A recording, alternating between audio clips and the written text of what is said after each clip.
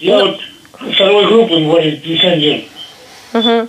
Одинокий, нет у меня никого. И соцработника нету, который приходит только раз в месяц, когда таблетки приносит. В прямом эфире ОТВ Леонид Павлов. Его ситуацию иначе как сложной не назовешь. Близкие погибли, социальные службы вниманием не балуют. Волонтеры обещают помочь и слово держат. Выезжают по адресу уже на следующий день.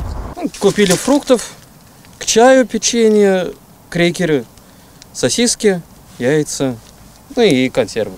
Все, что он заказывал? Да, Леонид Тимофеевич шутит, он почти ровесник города Одинцова. На пенсии остался совсем один. На улице последний раз был прошлым летом. Волонтеры обещают, теперь ситуация изменится, помогать мужчине будут постоянно. Дай Бог вам всем здоровья, ребят, берегите себя. Спасибо вам большое, что вы есть.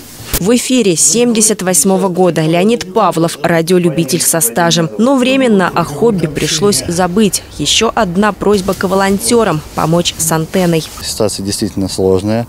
А, Социальной защиты мы передадим данный контакт, но мы будем держать также эту ситуацию на контроле. Мы обменялись контактами и будем а, взаимодействовать каждый день, спрашивать, помогли ли или нет. Будем добиваться помощи совместными силами.